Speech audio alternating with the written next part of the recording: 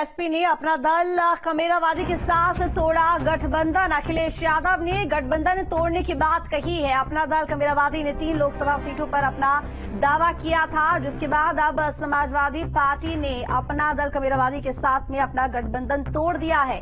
अखिलेश यादव ने गठबंधन तोड़ने की बात कही है। आपको बता दें कि कल तक इसी बात को लेकर संशय था कि आखिर अपना दल कमेरावादी समाजवादी पार्टी के साथ में है भी या नहीं भी, क्योंकि अगर अखिलेश यादव की बात की जाए तो उनका कहना था कि वो साथ में ही है। लेकिन अपना दल ने जो सीटों की मांग की थी, वो तीन थी और समाजवादी पार्टी अपनी तरफ़ से मात्र एक सीट दे रही थी। ऐसे में गठबंधन को लेकर लगातार सवाल उठ रहे थे, लेकिन कुछ भी तस्वीर साफ़ नहीं थी, लेकिन आज पूरी तरह से सब कुछ साफ़ हो गया है।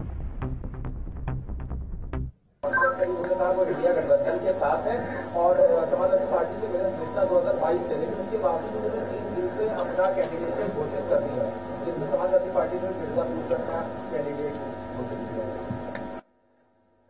22 का गठबंधन था अब 24 में नहीं है।